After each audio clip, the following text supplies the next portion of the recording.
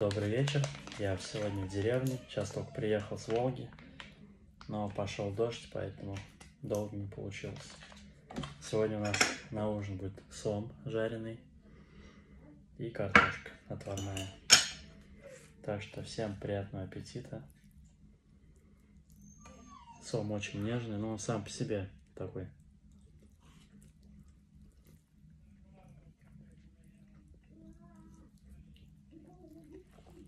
Так что приятного аппетита. Напишите, вы любите рыбу сом.